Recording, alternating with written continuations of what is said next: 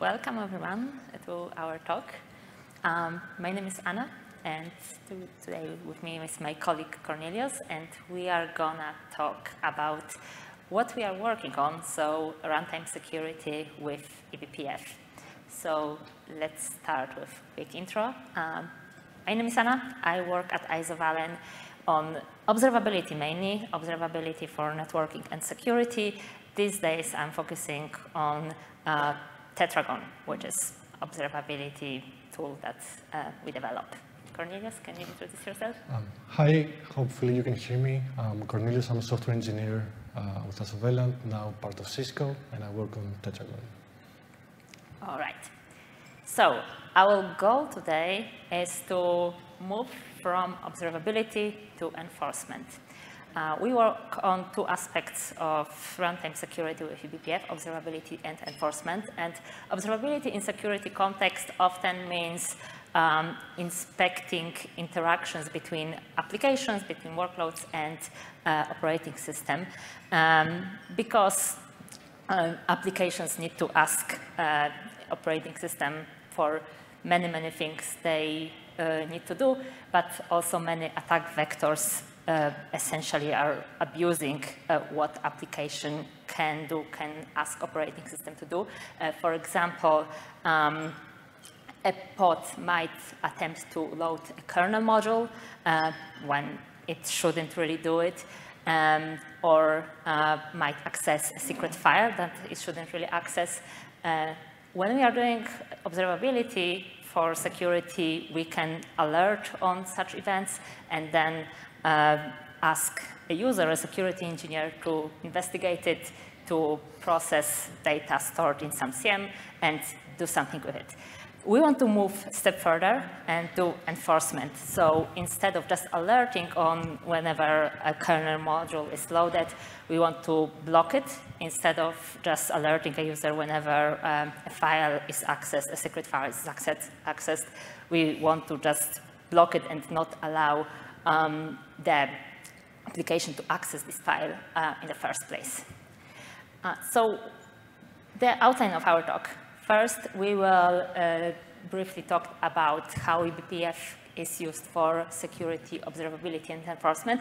We won't cover how eBPF works under the hood. This is not really necessary for this talk, so if uh, you don't know BPF internals, don't worry about it. Uh, then we will cover how um, to build a Tetragon enforcement policy and uh, how this works in a Kubernetes world. So BPF works within Linux kernel. That means on a single machine. Kubernetes is a distributed system. Often with a Kubernetes cluster can have like 1,000 machines um, distributed globally. Some interaction between these two worlds, like local and globally distributed, are interesting. So we are going to cover this too. And we'll show some uh, exam more examples of uh, policies and some more resources to get started. All right, with this, I will uh, give to Kornilios. Kornilios, can you tell us how eBPF is used for observability and enforcement? Of course, thanks. So we're gonna, let's assume that we have a system in this system, we have a bunch of applications running, and we have a user. And the user has a simple request. They want to generate an alert if an application other than A1 accesses or opens file X. The standard way to do that is to create a user space agent, let's call it an observer, and forward all file accesses from all applications from the kernel to this observer. Then as events happen, the observer will process the messages and try to figure out whether the condition set by the user is satisfied or not. And if it happens, it will generate an alert. So this architecture has the benefit that the kernel part, which is the privileged part, is really, really simple because we just forward all the events. And this means that it has a higher probability of being safe which is really, really important for code that runs inside the kernel. The downside, however, is that we have to copy all of the data from kernel to user space, which wastes both memory and CPU. And so what BPF provides is a way to get both benefits uh, in this situation. So uh, eBPF is a programmable and performant in-kernel virtual machine that can safely execute native code on certain hooks. You can think of it as JavaScript for the kernel. And exactly because it's safe, um, there is a kernel verifier. We will not go into the details, but exactly because it's safe, we can get whatever users has requested, compile it into in BPF, and put it as a filter into the kernel. And this means that as events happen, we can filter them at their source. And so we can avoid a lot of copying, we can avoid a lot of memory, and just generate the alert by going from the kernel to the observer and then to the user. The other benefit is now we are in the inline path of the operation, which means that we can also block the operation. So we can now implement other semantics, which are block any application which is not application A that tries to open file X. Um, and eBPF gives us the ability to do that. Um, so the benefit in the previous architecture that I showed you is that the filtering logic remains the same. There is no difference. The only difference is what do you do whenever you match. And specifically, we have a different enforcement actions that we support. One is block the operation uh, before it actually happens and return an error to the user application. And we can also send a signal to terminate the application. However, enforcement is different from observability in one crucial aspect. The logic for filtering has to be implemented in the kernel. In observability use cases, in many cases, you can just sit and do the filtering or part of the filtering in user space. When we are talking about enforcement, we need to push all the logic into the kernel, which is a great use case for eBPF. And I put a bookmark there because this is something that's going to come up later again. So now I'll pass it to Anna to uh, tell us about Tetragon. All right, so Tetragon is a tool we are working on. Um, it's an open source tool under the Cilium project umbrella, so it's part of CNCF, and it's using eBPF. Um, it's using eBPF in a pretty, pretty generic way, so uh, it's really a tool that allows you to uh, hook into any point in the Linux kernel and get um, events or metrics for whenever this hook point is executed. Mm, it has in-kernel filtering and enforcement, as Kornilios said. Uh, it is Kubernetes native. So uh, that means that it operates on Kubernetes metadata like namespaces or pod labels, not just low-level kernel stuff. Uh, both Tetragon policies uh, are configured with, um, with Kubernetes. They are Kubernetes CRDs, but they um, are configured with Kubernetes metadata, and events and metrics produced by Tetragon um, also contain this Kubernetes metadata. So this is uh, like a picture from the front page of Tetragon documentation. Uh, there is a lot happening here, so I will uh, go through different sections quickly. Um, so because Tetragon is pretty generic tool, it can support gazillion different use cases, uh, starting from basic things like uh, process execution. Um, this is kind of the basic use case uh, that Tetragon users start with. Um, to things like network connections, file access, and uh, various um, events that may indi indicate uh, privilege escalation, like namespace changes or uh, capability list changes. Because we use eBPF, um, Tetragon is very reliable and gives us security with very low overhead. Thanks to eBPF verifier, the programs are safe to run, and they give us complete visibility, meaning that they see everything that is happening on the node. The applications running on the node can't hide from Tetragon. This is something very important from security standpoint, because security engineers are not happy if you tell them that, oh, some applications can just hide and we just can't see them. No, this doesn't happen with Tetragon it, um, because it runs BPF programs in kernel, it can see everything.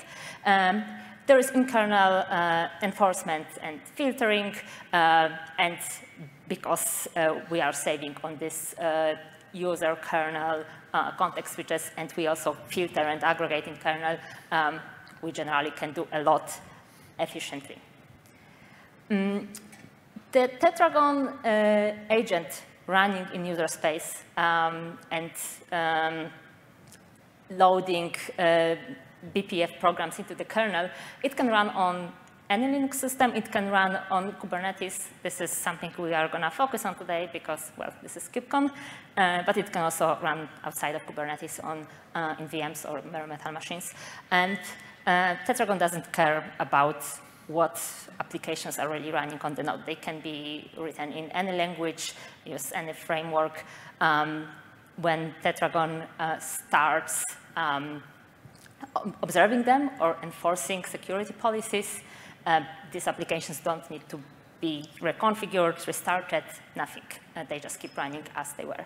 And last but not least, uh, Tetragon integration. So Tetragon used as security observability tool produces events and metrics that then can be pushed into your favorite security observability vendor, essentially. So uh, things like Splunk, Elastic, uh, metrics are usually displayed by Prometheus.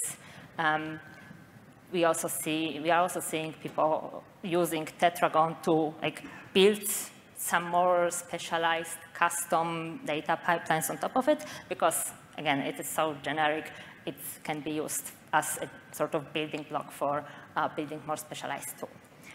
All right, so that was a quick overview of Tetragon. Now let's actually get uh, to the, the, topic of this talk and let's try to build a Tetragon enforcement policy. So uh, our quest for today is to block access to a secret file. Let's say the secret file might be some password token, whatever. Uh, we don't want an attacker to access it. And this is my first policy I, I wrote to do this. Uh, Tetragon is configured via tracing policy CRD, and this is very low-level configuration. It's almost like a way to interact and build, uh, interact with kernel and build an eBPF-based tool, but without writing BPF code. We are operating here on um, kernel functions and arguments they, they take. So in a Tetragon policy, we defined exactly where we want to hook in the kernel. In this case, it's, it's a kprobe, and it's actually a system call, uh, open system call, a system call responsible for opening a file. Uh, so we are hooking there, and we define an action. So an action is the thing in the policy that does the enforcement bit, not just observability. And my action is to SIGKILL, um, send a SIGKILL signal, so kill a process that is trying to uh, read my extremely secret file. So I tried to, I loaded this policy, I ran it, and tried to uh, read, cut the file. The process was killed. It works. Kornilios, what do you think about my policy? So I think this is a great policy, and it definitely achieves what we want, but it has a, a minor, minor issue, which is it blocks access to every file in the system, which some people might not want. Uh, so for example, if you try to access another file, the process will still be killed, uh, which some people will say it's not ideal. So what we can do is that we can take the policy a step further. Uh, you can see this is the same policy with the changes being highlighted, and Tetragon policies allow you to access arguments and then filter on these arguments. So the first argument of the system call that we're using is the file name. So now we can filter and only apply this policy if the first argument is equal to my extremely uh, secret file, which is um, what we want. How does it look, Anna? Okay, this looks definitely better, but I see a problem with this policy too because blocking all access to the file is not what we usually want. Like, let's assume this file is some secret, like it's some password. Um, there is probably an application that actually needs to read this file, needs to read this password to do something. So when I, um, oh, whatever application um, is trying to read this file, um, it is just blocked. Um, I have another binary here, my cat, that I want actually uh, to read this file and not to be killed, and I can't do this. Uh, this policy blocks access for every single process uh, on the system. So what we can do is we can block um, file access only for specific binaries. In this case, um, we are allowing access to a file only to mycat binary and blocking everything, uh, uh, all other binaries. And this is better, um, I think. What do you think, Kornilios? So I, I think it's definitely better, um, but turns out writing tetragon policies is kind of tricky sometimes, and there are some issues with this policy. So the first issue is that we are uh, hooking into the OpenAT system call. And most applications, including CAT, the standard Unix utility, use this system call, but they don't have to. There are other applications that use other system calls, for example, Open. I've written one here, called it evilcat, and using this application, can actually access a file. Furthermore, um, because we are hooking into this trace point, which is a system call, the file name, which where we're filtering, resides in user memory. And this means that we just introduced a time of check, time of use bug. Um, so what happens is that because the memory is in user space, the user program is allowed to change it. And this means that at a point after the BPF ch check, where everything seems okay, something like another thread from a user's process can go and change the binary. And this means that the open will be actually executed with not the one that we checked, but another uh, file name, and then this is a way to bypass um, the policy. Um, fortunately, um, oh, and there is, there are a couple more issues. So another issue is that we specify the full path as access to the system call, but obviously we can call with different path names. We can seed into a directory and call the, from the current directory, and then again, the, the policy will not be applied. Finally, and this is a bit tricky, there are cases where when we define a signal as an action, um, the system call side effects will stick, still take place. So for example, there are instances where if we say write this buffer into the file, and then we enforce on that system call with a SIG-kill, then again, there are certain situations where this happens, but it is possible that the data will actually be written to the file, which is not what we want.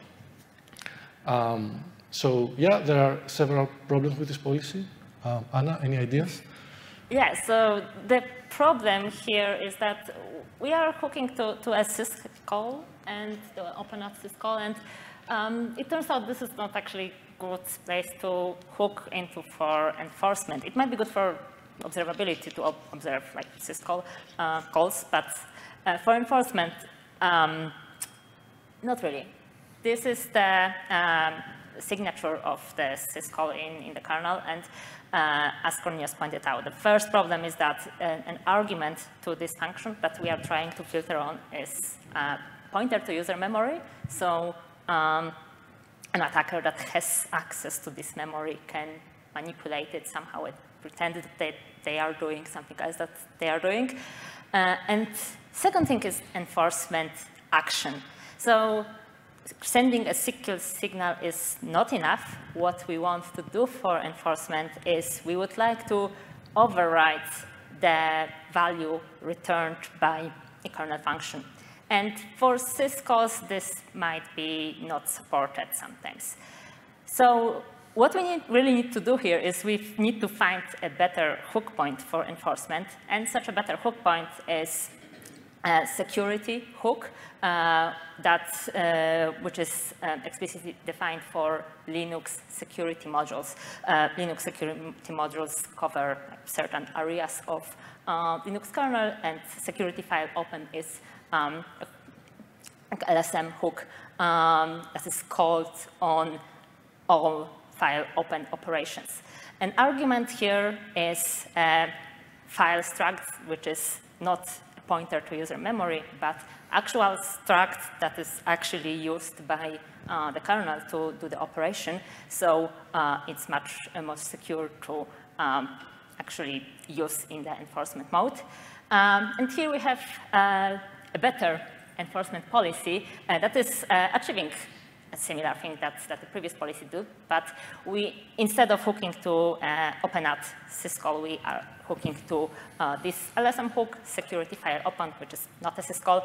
Uh, instead of filtering on the file path, uh, we um, filter on this file struct. Um, the filtering section look kind of similar, but uh, this is this low-level detail that we are using actual different piece of memory and different argument for um, filtering. And uh, in the action section, we are still sending a signal, but we also want to override the value returned uh, by the function to uh, not return zero. That would indicate a successful um, operation, but um, to, over, uh, to uh, return negative value. So this is our final policy for, for enforcing access to my extremely secret file and block uh, attacker access to it. Now, let's move on to the Kubernetes world. How do we apply this, all of this in the Kubernetes world?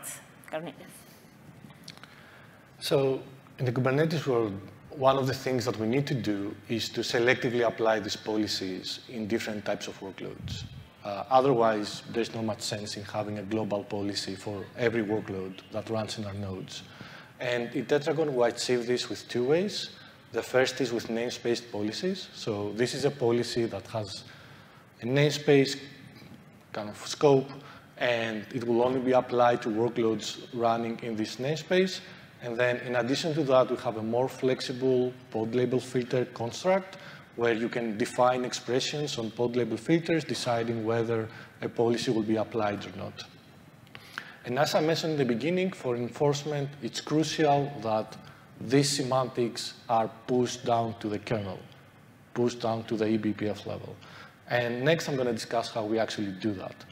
So um, the way we do it is by using C groups. So C groups are one of the two main, main mechanisms, the other being namespaces that Kubernetes and container runtimes use to implement containers in Linux. Uh, C groups are basically a way to hierarchically organize kind of applications and resources. So think of it as a tree where there is a root, which is basically the machine, and then what you would see in a typical Kubernetes node is that the first split between Kubernetes pods, uh, which is kind of one node, and another which is host workloads, uh, typically managed by systemd, but we don't really care about that at this point. And then at the Kubernetes level, there is still a split based on the quality of service of the different pods, and then you also get one C group per pod, and then for every container, you also get one level deeper, um, one C group per container. So basically, what we do is that for the filtering, we match the container to the C group, and then inside the kernel, we filter based on the C group. And the way we do that is uh, by having state uh, we keep this state into a BPF map that is accessed by the program, and then we ask, does this C group, uh, or rather, does this policy is, um, should be applied to a given C group, and then if yes, we continue with the execution of the BPF code. Um, so if a policy is loaded, then we update the map, the BPF map, uh, if something changes in the Kubernetes API server, for example, a new pod is created, a new container is created, or a new, or maybe a pod label changed, then we go and update the map to keep the state up to date. So let's see an example. Let's see the example of starting a container. So Tetragon agent is informed about this uh, new pod. So, or this, and then it, it, scans all of its containers, and then for every container we find its C group, and then we add it to the map. Then uh, the, kubelet, the kubelet talks to the uh, container runtime, and then the container is created, it does the operation, and then everything works as expected. However, this is not necessarily the order that the events can happen. There is no guarantee. In fact, the events can happen in the opposite order. First, the container is created, and then it starts running, and it might even start executing operations before the state is actually updated. And this is problematic because the policy will not be applied in this case. So we need to do something better. Um, and what we do is we use runtime hooks. So runtime hooks are a way for Tetragon or any other application to hook into the container runtime system. And what we do when we hook is basically we say to the container runtime system, every time you create a new container, do this.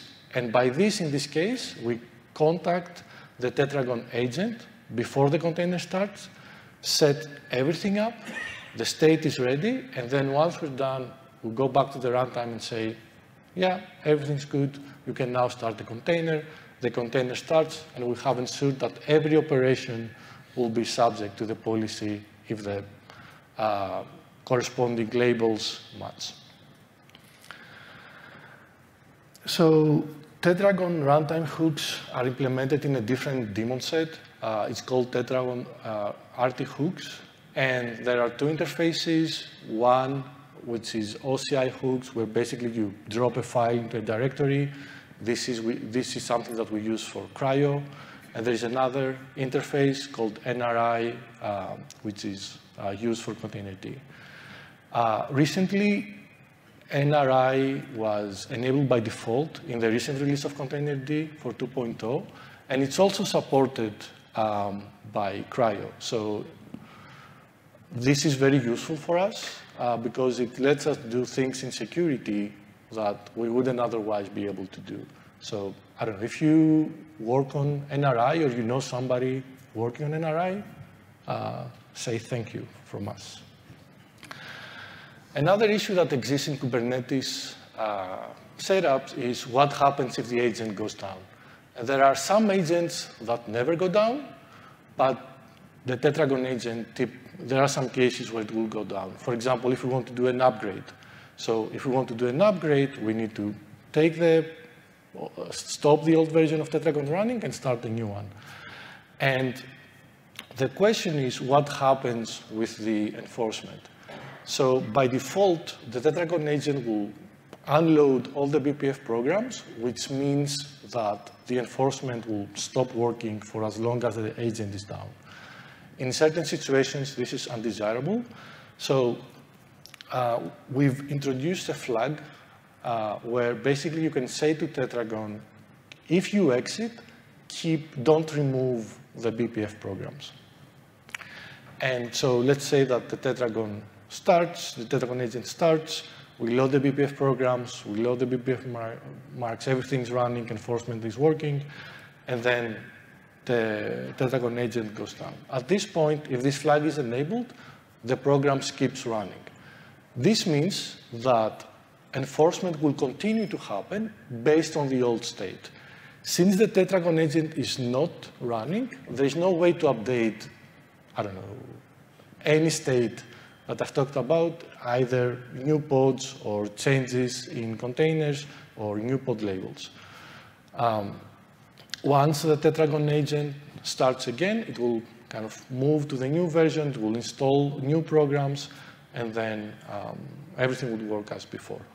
And then if you want to remove the programs, um, you can set this flag to false, which means that once the Tetragon agent stops, all the programs will be removed. Um, Yeah, so Anna now is going to tell us how to get started with Tetragon enforcement policies.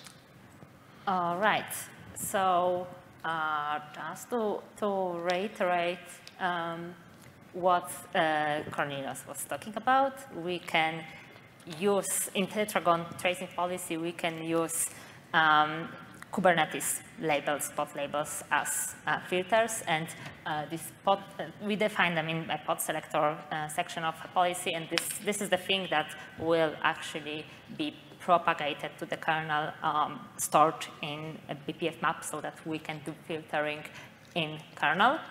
And going a step further, um, there are uh, a few other selectors available in um, Tetragon policy, uh, but one that is very interesting in Kubernetes context is that we can uh, restrict file access, for example, only um, to allow access only from the pod, but not allow it from everywhere else. For example, not allow users manually running kubectl exec to read some um, secret file. So uh, in this policy, uh, it's truncated to fit on a slide, but in this policy, we uh, still um, allow uh, secret file access to the pod, but we use a PID filter to not allow um, users running kubectl exec to, to access this file.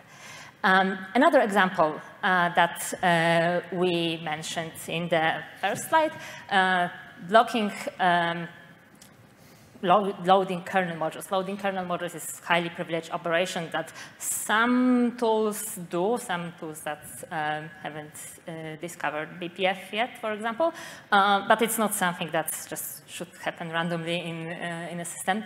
Uh, to block loading kernel modules, we can use uh, these three uh, hook points. Again, these are LSM hooks, security kernel module request, kernel read file, kernel load data, and uh, again, we can override um, the return value to return an error and send a signal. Uh, we will need to filter on arguments to these functions to um, filter only the module, uh, kernel module um, operations. I won't show a full policy for this. I will leave it as uh, homework for you all to write a policy uh, that is blocking uh, kernel modules from being loaded. Uh, but if you don't feel like writing a policy, you can also check out um, examples directory, examples slash tracing policy directory in Tetragon repository. Uh, so Tetragon policies are very low level, and we know that it's not an easy task to write them in general. This is why um, Tetragon community is collecting lots and lots of example policies for different use cases in this um, examples directory. Uh, there's also a policy library, which is sort of uh, more curated and better documented collection of example policies. In Tetragon documentation, um, tetragon.io, you can find uh, like documented policies for uh, several specific use cases. Um, to learn more, uh, visit Tetragon documentation, um, tetragon.io. Uh, Tetragon is on GitHub, it's open source as uh, under Cilium organization. And uh, we also have labs, like hands-on labs, where you can try out Tetragon without uh, messing up with your machine. Um, and we have books which can be downloaded for free from Isovalent website. Um, if you visit Isovalent booth, then you can do labs over there, and you will get some like badge, like a sticker for, for completing a badge. Uh, and you also have a book, book signings. So uh, today, just after this talk, I think um, there is book signing with uh, Liz Rice. Um, and tomorrow, lunchtime, uh, there will be book signing with our colleague, Natalia. Uh, um, with security, uh, security observability with eBPF book, which covers some of the stuff that we talked about today. Um, we also have a Contrib Fest, the first ever Contrib Fest, uh, Tetragon Contrib Fest, which is tomorrow. Um, come to contribute or learn, help getting started, submit your homework that I gave you, or discuss your ideas. Um, and uh, at this point, I would like to also thank all Tetragon contributors uh, who helped with uh, code with writing policies, documentation, or reported uh, bugs to us, uh, this is uh, really, really helpful. And after KubeCon, let's stay in touch. We have Tetragon community meeting. Tetragon community meeting is happening monthly. Um, the, you can find information on this link on the slide. And uh, we are also on Slack. We are all on Cilium and eBPF Slack uh, in Tetragon channel, so uh, you can ask all your questions uh, there. And that's it from us. Thank you very much.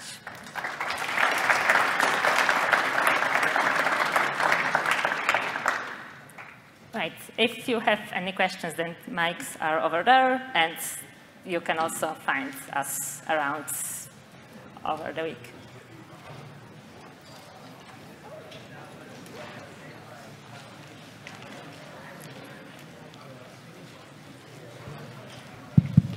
I have a quick question. Is there a possibility of deploying the hooks on the Tetragon daemon set itself instead of separate one? Like there's already too many daemon sets out there. The OCI hooks you talked about. Can you repeat? Sorry, I didn't. Um, for the deploying the hooks into the Kubernetes, you mentioned that is deployed with the daemon set, right? The R isn't it the O- O- OCI hooks you talked about? So, are you talking how you deploy the Tetragon policy or No, the Ah, the, hooks. the The hooks? CRI hooks. The the CRI. CR, yeah, Okay. runtime hooks. How they are deployed? Is that Yeah. I think you mentioned that it's deployed using daemon set, Yeah, yeah. But the Tetragon itself also deployed using separate daemon set, right? Yeah, that, that's a good question. So they are deployed by the Helm uh, chart. So the Helm chart has configuration, and then if you do Helm install Tetragon with the proper configuration, it will all, also install, install the Tetragon RT-Hooks daemon set. Yeah, that's correct. But like, there's already two daemon sets. What, is it possible yeah. of merging Wha- into one? Is the question why do we need two daemon sets? Why two daemon sets? Ah, yeah. Yeah. So the first version was actually on the same daemon set, but this doesn't work well because we need the hook to be to run even if the agent is down.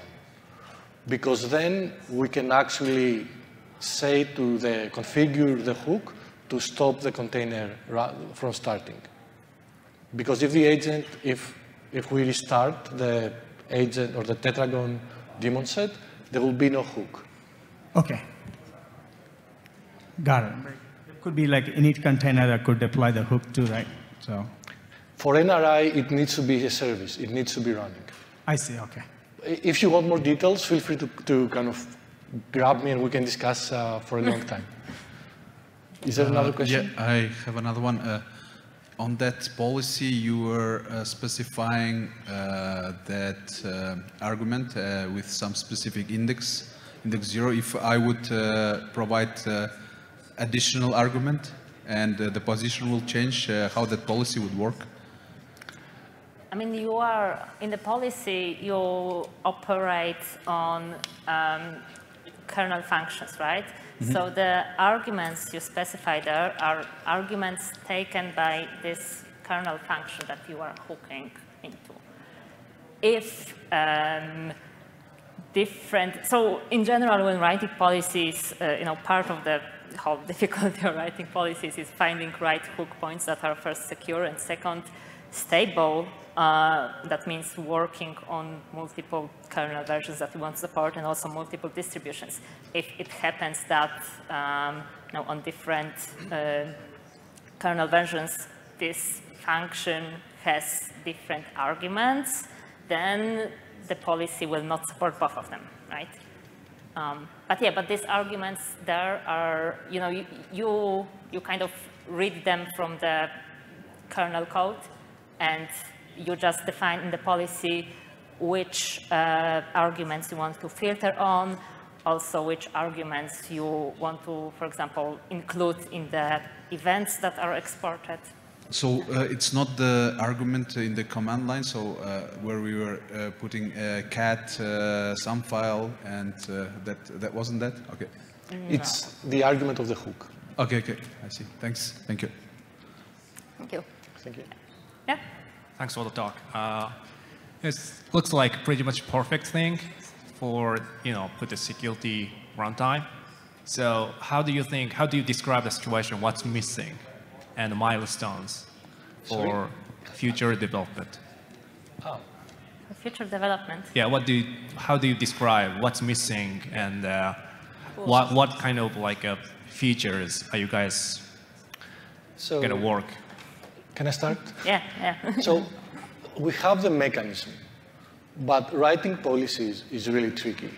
And what we started doing is providing some policies as an example. But specifically for enforcement, this can be really problematic because like observability worst case scenario will generate an event, but if you start killing somebody's processes, then that's not a very good thing. So like having a way, so in my mind the challenges are two. Having a way to write these policies, enable people for different platforms, for different setups to write these policies, and also have a way to explain to the operator what happened. So because we generate an event or we, we kind of enforce somewhere because, I don't know, like some privilege change, like a very low level um, kernel thing, but it might not be clear to the operator what actually went wrong. So I, I think the mechanism is in a pretty good state. The challenge is like how can we bring it to the end user, if, if that makes sense. So I- you're talking about like a user experience, right? y- yes. Yeah. Okay, yeah. Yeah, so I think that uh, I'm, I'm seeing Tetragon as um, a kind of a building block almost for um, more specialized tools.